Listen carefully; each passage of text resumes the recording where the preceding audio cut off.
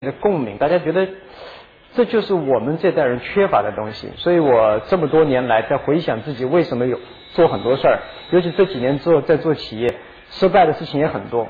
每一次失败，我总是能够再度起来，失败再度起来，失败再度起来的想法，就可能跟小鹿纯子那时候的片子是很有关系。哎，那里面有这么多女排姑娘，你有没有对小鹿纯子特别喜欢呢？我一定要问出来，小鹿纯子到底是不是你的梦中情人？要讲真话呢，那时候我还小了点，嗯，我才十八岁，还没有这样想法。如果那时候二十五六岁，也许会有这样想法。小鹿纯子那时候也才十八岁啊。哎，没有啊，他那个我十八岁的至少我还没这样想法。那时候男孩单纯的很。是吗？确实是挺喜欢的，毫无疑问。现在是挺喜欢的。现在越来越喜欢。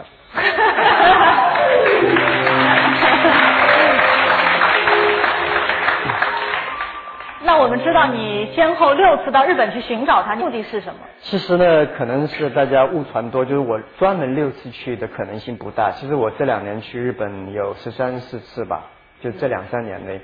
那每次到日本的时候，我在演讲过程中，日本人总要问我很多问题。那我在回答我说，日本有非常好的东西，非常可以激励别人的东西，日本人可能自己都不知道，或者没有意识到，或者没有发现。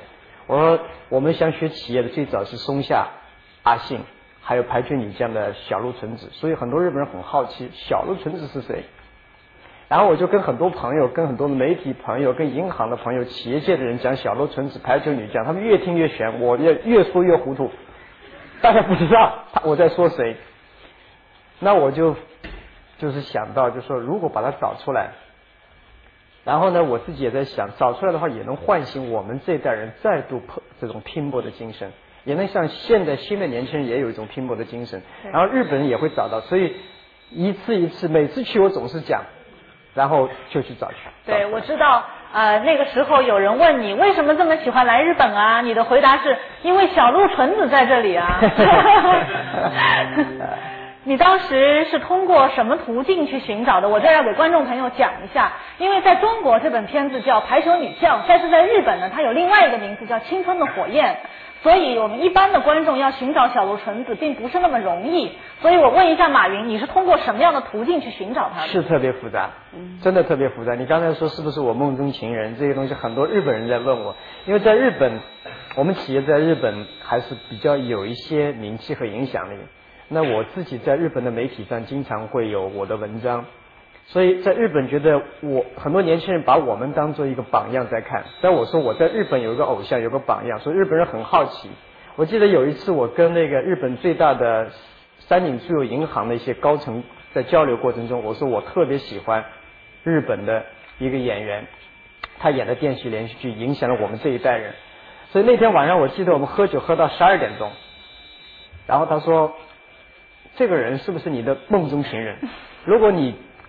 好像感觉我要娶小鹿纯子的似的，因为我我说有这么个人，他们就是不相信。最后我说想办法帮我找到这个人，然后当天晚上我就发了好多的邮件给日本的日经杂志、日本财财财呃财经杂志、日本新闻社，就所有采访过我的日本记者，我都给他们发了 email，我说希望尽快帮我找到这个人。那么晚上两点多，我又想了个办法，我给杭州明珠台当年的一个编导打了个电话。我说我要找你有没有办法给我找出这个这个小鹿纯子的日本真名字叫什么？说他先生晚上在中国大家查，通过雅虎啊、Google 查到，然后三点钟给我在日本打电话，他说他叫荒木由美子，你在 Google 上可以找到。然后我再上 Google，早上凌晨三点钟，在 Google 上找到了荒木由美子，看到的照片，我说就是他，然后我再通过把他叫给了那个。交给了一些记者朋友，然后记者朋友、日经杂志的记者朋友去找到了他。你找了多久？好久，我去至少后面去的几次，我每次都提，每次都希望找到他。你有没有想到过，找了一半这么困难，算了，放弃了，我不找了？那不会的，我觉得你要做一件事情呢，你真的想做，只要给你时间，只要你自己坚持，你一定能做得到。找到小鹿纯子是在几几年？什么时候？呃，去年吧。去年找到他的时候，一开始他的经经经理人 Sasaki 讲周总路先生跟我在东京，我们一开始是见后来不见，见后来不见，挺复杂的。因为他觉得我是一个来自中国的影迷，那么后来他在日本也进行了一些我的资料，可能收到以后发现我并不是一个普通的影迷。那第二次我们再安排，我觉得跟那个荒木是在我要离开两次都是要离开日本回中国的飞机前，大概十五分钟见面。第一次我们就感觉很好，缘分。小鹿觉得这是一种缘分吗？そうです。哎，马云先生给你和我们中国观众牵了一条线，让这份缘分继续到今天，我相信还会继续下去的。もちろんそうです。もう、 あの、マーさんは、中国、私をしあの、探してくれたもう代表者で、もう神様のような方ですから、とてもあの、中国皆さんの代表ですよね。是因为我知道很多人都曾经有这个想法到日本去寻找小鹿纯子，但是只有马云做到了。马云还得给我们透露一下，你到底用了什么绝招？其实绝招做任何事的绝招就是一样，就是你其实就是拼搏竞争，你永远不放弃。就如果我第一次去说找不到也就算了，第二次找不到也算了，第三次找不到也算了，最后我觉得这个东西不可能的。